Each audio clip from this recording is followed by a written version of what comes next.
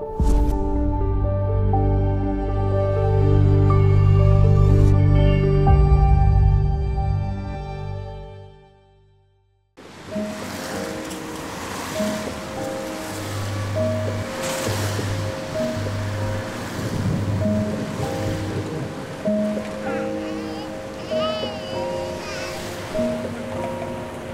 -hmm. you.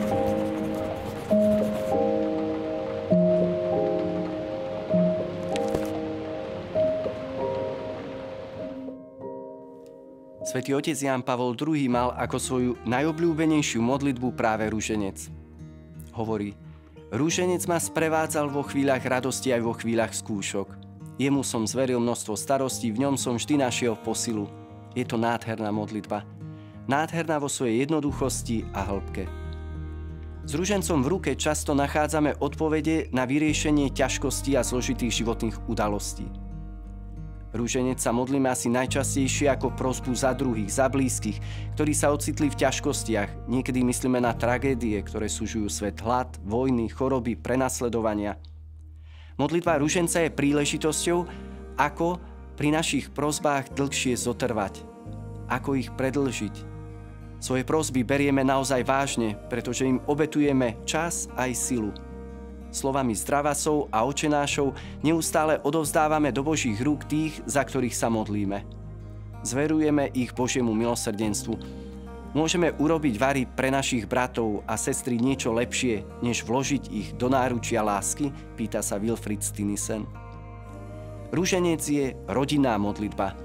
Spoločnou modlitbou ruženca vytvára rodina priestor pre Boha a tak sa on stáva jej pevnou súčasťou. Chvíle, keď sa rodina modlí, vytvárajú silné putá. Deti vyrastajú v atmosfére Božej blízkosti, ochrany a lásky. Konkrétne vnímajú vieru rodičov a sú zapojené do modlitieb za najrozličnejšie potreby. Pred rokmi som spoznal jednu rodinu. Otec nechodil do kostola. Mamka, žena hlbokej viery, sa spolu s deťmi každý večer modlila v obývačke na kolenách večernú modlitbu, ktorej súčasťou bol aj desiatok rúženca. Otec sa im najprv vysmieval, po určitom čase už ticho stál vo dverách a opieral sa o zárubňu. Prešlo opäť veľa mesiacov a otec vošiel počas modlitby do obývačky a sadol si na gauč. Zamyslene počúval. Až nakoniec prišla chvíľa, kedy sa pridal k ním. Odvtedy sa modlia spolu a otec pristúpil po rokoch k sviatostiam. Určite poznáte mnoho podobných vymodlených zázrakov. Matt Talbot, patron alkoholikov i všetkých, čo sú v otroctve závislosti, po 16 rokoch pitia rozmýšľal, že spácha samovraždu a tak skončí so svojím nepodareným životom, no odrazu nachádza silu ďalej žiť a s pomocou Božou skoncovať s pohárikom. Čo je za tou milosťou a tajomnou silou? Rúženec omotaný okolo maminej zvráskavenej ruky. Koľko tých rúžencov len vyslala k nebesiam za tie roky? Poznám viacerých chlapov, ktorým práve modlitba niekoho blízkeho pomohla dostať sa z otroctva závislosti. Rúženec je škola modlitby, rúženec je škola viery. Definuje pápež František. Sveta matka Teresa raz na otázku, aký význam má neustále odriekanie modlitby zdravás, odpovedala, keď posplietaš všetky pavučinky, zastavíš aj tigra. Rúženec je úžasnou zbraňou aj v boji proti pokušeniam. Raz som navštívil sestričku Bernadetu Pánčiovú, svetú ženu na vozíčku, zakladateľku rodiny nepoškvrnenej. Pri stretnutí, s ktorou sa aj tvrdí väzni, keď im rozprávala o Božej láske, častokrát rozplakali. Sestrička sa modlila za mňa celé roky. Pri spomínanej návšteve mi sestrička Bernadeta rozprávala, ako jej niekedy zlý nedá pokoj a že vtedy čo robí?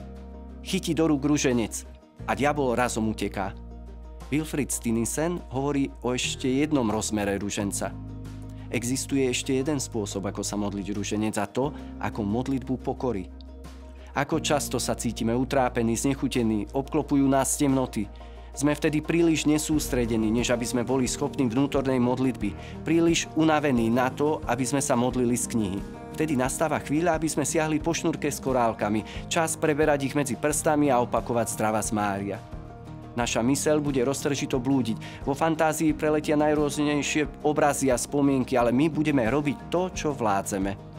Dáme Bohu časť svojho času a dovolíme ústam, aby Bohu hovorili milé slová, o ktorých nie sme schopní premýšľať, ale vieme, že Boh im rozumie.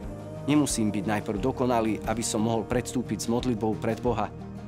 Môžem prísť k nemu vždy taký, aký som, hneď teraz. Keď sa cítime neschopní modlitby, rúženec nám dáva šancu, aby sme sa napriek tomu modlili. A koľko ľudí odchádza z tohto sveta do väčšnosti obklopených dnešnými slovami modlitby rúženca, ktoré vychádzajú k nebu z úst najbližších.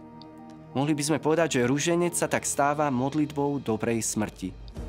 Silvia bola úžasnou mamou. Mnohí ju dávali za príklad, ako sa obetavo a so všetkou láskou venuje svojmu chorému synčekovi. Zomrela mladá, neskoro diagnostikovaná rakovina plúc. Posledné mesiace prežila uprostred najbližších v malej izbe na kyslíku. Na lôžku v ruke po väčšine držala kríž a rúženec. Aj do väčšnosti odišla uprostred modlitby rúženca. Bol večer. Mama a jej sestra sa práve pri nej domodlievali posledný desiatok, keď začala namáhavo ťažko dýchať. Odrazu do Korán otvorila oči, jej tvár sa rozžiarila. Zašepkala. Už ju vidím. A vydýchla. Mala veľmi rada panu Máriu.